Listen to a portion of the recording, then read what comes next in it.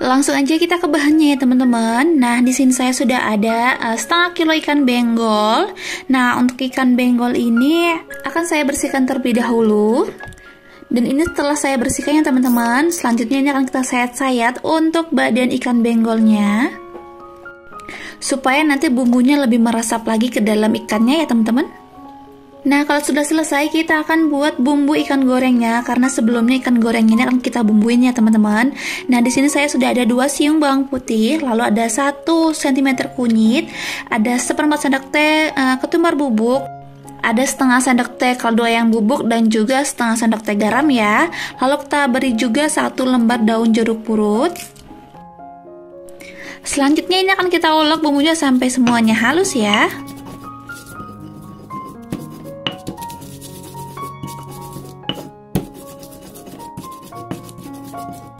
Nah, ini sudah halus untuk bumbu ikan gorengnya. Selanjutnya di sini saya akan tambahkan sedikit air supaya tidak terlalu kental.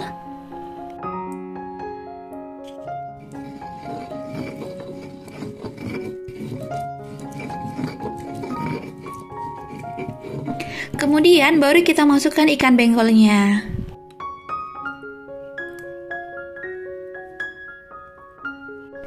Lalu ini kita aduk-aduk atau kita campurkan dengan bumbunya. Kita campurkan sampai merata ya teman-teman supaya nanti ikan benggolnya itu rasanya lebih gurih dan juga tidak amis. Selanjutnya ini boleh kita diamkan sebentar untuk ikannya supaya bumbunya lebih meresap. Selanjutnya kita akan siapkan uh, bumbu halusnya. Nah, di sini saya sudah ada 9 buah cabai merah keriting. Kemudian ada 3 siung bawang putih ada 9 siung bawang merah. Lalu kita beri uh, setengah sendok teh garam supaya lebih mudah untuk dihaluskannya teman-teman. Dan ini sudah lembut ya teman-teman untuk bumbunya. Selanjutnya di sini saya akan tambahkan satu buah tomat merah ukuran besar. Nah, bagi teman-teman yang males ngulek, teman-teman boleh uh, bumbunya ini di blender ya.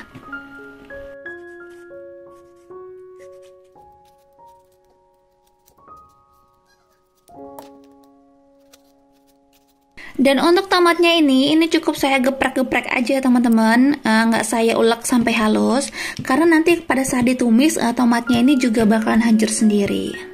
Selanjutnya kita akan panaskan minyak goreng secukupnya dan kalau sudah panas langsung aja kita goreng uh, ikan yang sudah kita bumbuin tadi.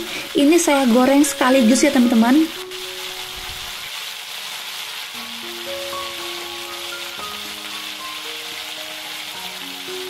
Nah, karena di sini saya tadi memakai minyak yang banyak sampai ikannya tenggelam gitu, jadi ikannya tuh e, cepet banget garingnya. Nah, kalau sudah garing, sudah matang seperti ini, ikannya boleh kita angkat lalu kita tiriskan ya. Nah, bagi teman-teman, uh, untuk ikannya ini teman-teman bisa ganti dengan ikan yang lain seperti ikan gembung ataupun ikan selar. Itu sama aja enaknya ya, teman-teman. Selanjutnya kita akan panaskan minyak goreng kembali. Kita tumis bumbu yang sudah kita haluskan tadi. Nah, untuk minyaknya sendiri ini saya gunakan sisa bekas penggorengan ikan tadi ya teman-teman.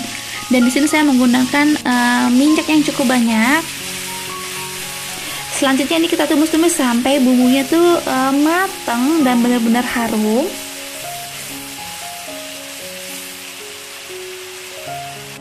Dan di sini saya akan tambahkan uh, 2 sendok teh uh, gula pasir, kemudian uh, 1 sendok teh kaldu ayam bubuk dan juga garam secukupnya.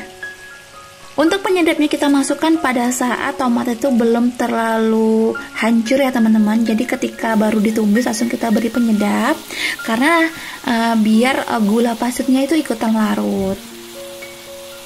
Kalau sudah matang untuk bumbunya dan rasanya sudah oke, sudah pas, langsung aja kita masukkan ikan benggol yang sudah kita goreng tadi.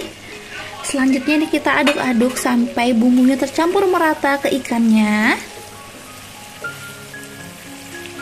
Dan kalau sudah selesai langsung aja kita matikan kompornya dan ini siap kita sajikan ya teman-teman. Nah mudah banget ya teman-teman untuk masak ikan benggol balado. Bagi yang teman-teman suka dengan video saya kali ini, teman-teman boleh bantu share, like, komen, dan subscribe. Dan jangan lupa untuk bunyikan tanda loncengnya supaya tidak ketinggalan video-video kami selanjutnya. Terima kasih, sampai jumpa di video selanjutnya.